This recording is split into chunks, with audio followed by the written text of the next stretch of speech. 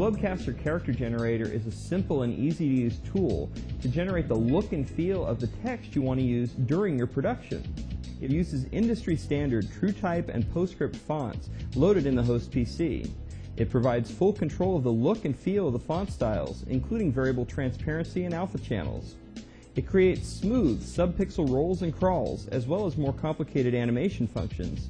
And it ties this all together in an intuitive and easy to use interface. As you can see on the main interface, we have a workspace area here where we're actually going to be typing in our text.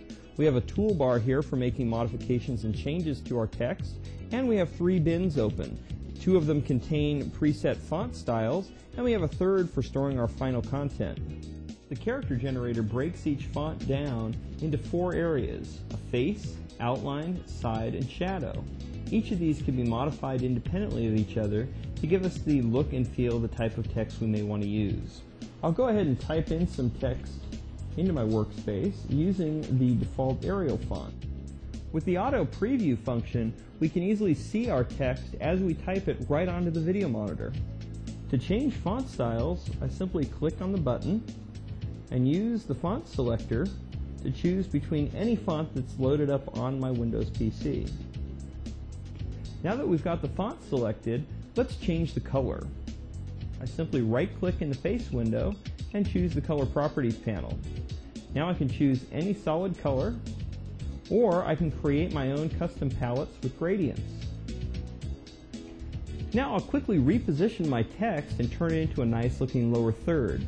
You'll notice how everything updates automatically. That's the power of the Globecaster hardware working in conjunction with our character generator software. Now we'll add a nice graphic background to our lower third. I'll take this, resize it down. Now we have a nice lower third to go with our video. Once we have the look and the feel of the text we want to use, we can save that style out just by dragging it and dropping it into a bin. Now to use the preset styles, all I need to do is drag and drop them right onto the text in my workspace, and I can quickly try out some different styles of fonts in addition to doing static overlays, the Globecaster character generator can also do credit rolls, crawls, and we can also do animated functions within the character generator. Every animated effect is done with subpixel interpolation to ensure that we have very clean and smooth movement, whether the text is moving fast or slow. The Globecaster character generator allows me to create the exact look and feel of the show I want to produce it really gives me the flexibility and creativity to do what I want to do.